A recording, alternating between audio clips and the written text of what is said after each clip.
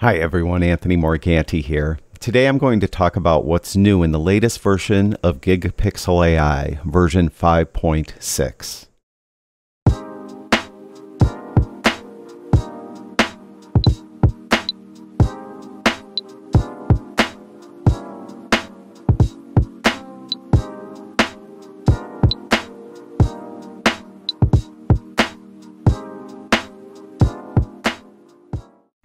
This is an image I took with a Nikon Z7 II and a Nikon 105mm f2.8 macro lens.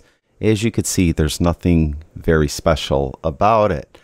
So, what I decided to do is a tight crop onto the flower to the lower right, and I came up with this. And I think this is a much more compelling image. The problem, though, is I cropped away a ton of pixels. If we look at the resolution of the original uncropped raw file, you can see it's 8256 by 5504. My cropped image is 2118 by 1412. The problem is if I wanted to print anything larger than maybe a 4 by 5 it would look lousy because the image just doesn't have the resolution for a larger print. That is where Gigapixel AI comes in. Now, of course, Gigapixel AI works as a standalone app.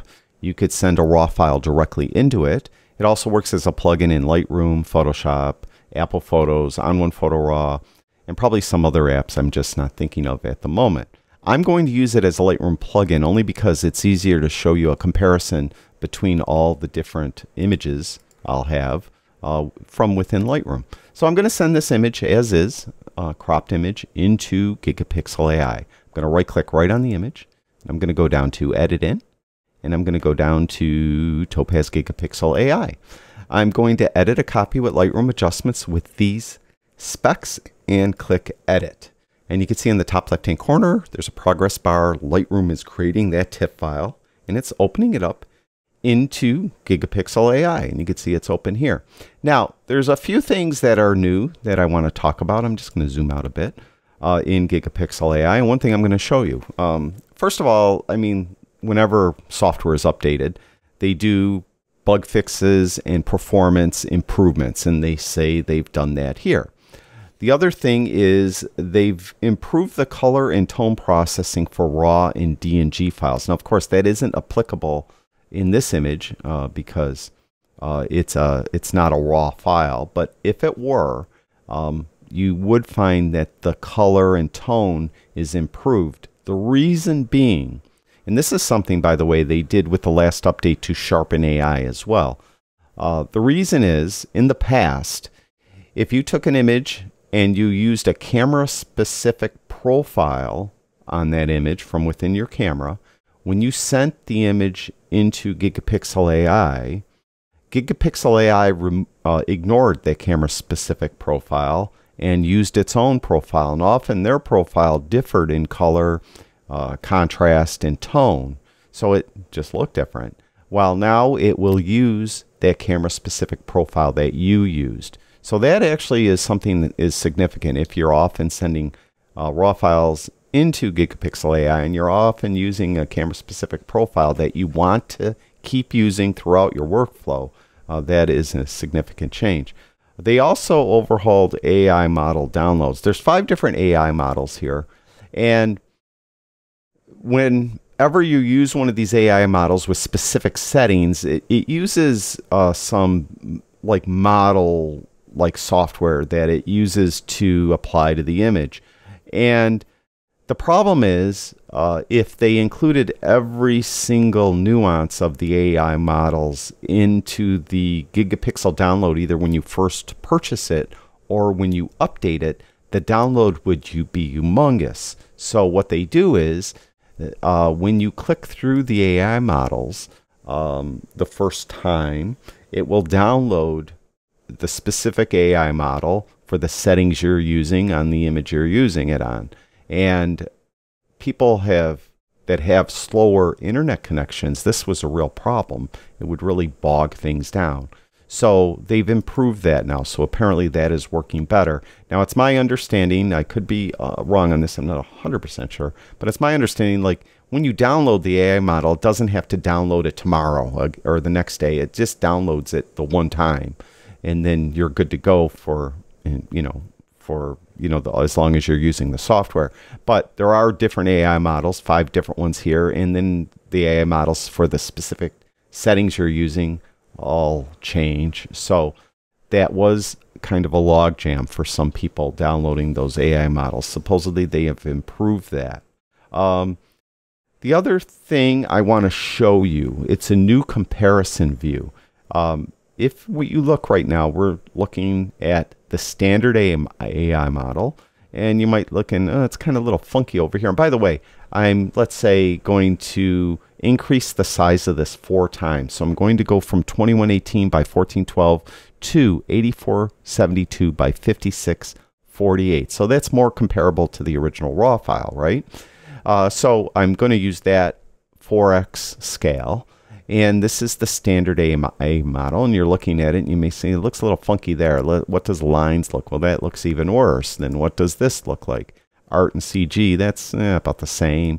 Low res, see what that looks like. You have to see in the lower left, it's updating the preview. That looks about the same, maybe, maybe a little better. And that one might look a little, little little more refined, looks sharper overall, but there are, you know, settings involved. But anyway, so you'd have to click through. Uh, you could have gone up to view and gone to split view, uh, where you have this line here that you could pull back and forth. Or you could go up to view and do side-by-side view. But now they have a comparison view. With the comparison view, you could look at three of those five AI models at the same time. Now there are four squares. This is the original image on the top left. Here happens to be the standard model. Over here happens to be the lines model. Over here is the art and CG model. And those of you that use Sharpen and, and Denoise know that this comparison view was or is in those applications as well. Well, it's finally in gigapixel. The cool thing too that um, you may look as you look through it, uh, let's say, and say, um, you know what, the the you know, I don't know, just let me take a quick look and see. Um, all right, so I don't like the art and CG. I think that's the worst of the three. Uh, what's low resolution look like? All I need to do is have this one active, and when I click on low resolution, it will replace low resolution with, or it will replace, I'm sorry, art and CG with low resolution. That one you know, if that doesn't look, I can move it around. I want to look at this kind of funky area up here, right? Now I have to wait for all of them to update again. And I say, you know, well, that one's all right. Let's go to very compressed and see what that looks like and see how it replaced the active model with very compressed. And you could see how it replaced it. That looks the cleanest, doesn't it? The other thing you could do is you could vary settings. Let's say you decide that very compressed is the best with auto settings and you want to compare it to another very compressed model with different settings. Just highlight something else. I'm going to highlight uh, standard. Then I'm going to click on very compressed. And what it will do is it will replace standard with very compressed. And we have very compressed at the top right and the lower right. But the top right one, I'm going to uh, bring down suppress noise because I don't think there's a lot of noise in this. Maybe I'll bring it up just a little. And maybe I'll try um, not removing as much blur. Or maybe remove a little more blur. So you could see you could use um, the same AI model in different boxes with different settings as well. Not only different AI models in different boxes. Hopefully that made sense. Let's go with this, this one right here. That was the auto settings. So I'll just make that active so it's active, and then click apply. So it's going to use that one and um, then open back up in Lightroom and we'll see how it works. So that's nice that it added that comparison view because it was kind of a pain in the neck before, even using the side-by-side -side view. You only could compare the original image to one of the models, whereas this, I think, works a lot better. Now, if you ever run into this when you use uh, any plugin as a plugin or any app as a plugin in Lightroom, often Lightroom comes up with this little like three arrow thing in this three line thing in this up arrow. That means it's got um, a discrepancy between the metadata. The metadata that, um, in this case, Gigapixel wrote to the file and the metadata that it has for the file. You want to use the gigapixel metadata. You can see I'm clicked on it and it's showing, still showing the size up here is 2118 by 1412. We just enlarged that four times. So click on those, uh, those three lines in that up arrow and you want to make sure you import the settings from the disk. That is the settings that Gigapixel wrote. All right. So we're going to click that middle box and then you'll see now it's 8472 by 5648. And if I click off it and click on, then that um, preview in the um, film strip becomes active. So there is our large image now. There is our small image. And there is the original uncropped image. So you could see it did a really good job. I mean, it made it even sharper too. Go like there. You can see it's not zooming in at the same rate because this is the smaller image. And that's that. So it looks really good. It looks really nice and sharp. Did a nice job. I could get a really large print from this if I wanted to. So that is Gigapixel AI version 5.6.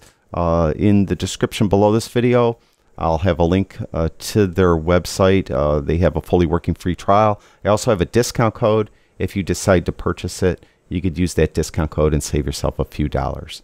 Thank you, everyone who watches my videos. I really do appreciate it. Talk to you guys soon.